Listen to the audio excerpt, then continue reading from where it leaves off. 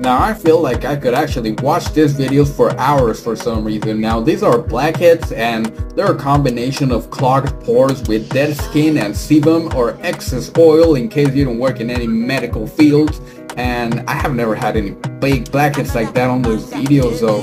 When I was a teenager, I remember my mom saying to me like, ew, those are some nasty blackheads and then she would just come right over to me and squeeze them out, you know?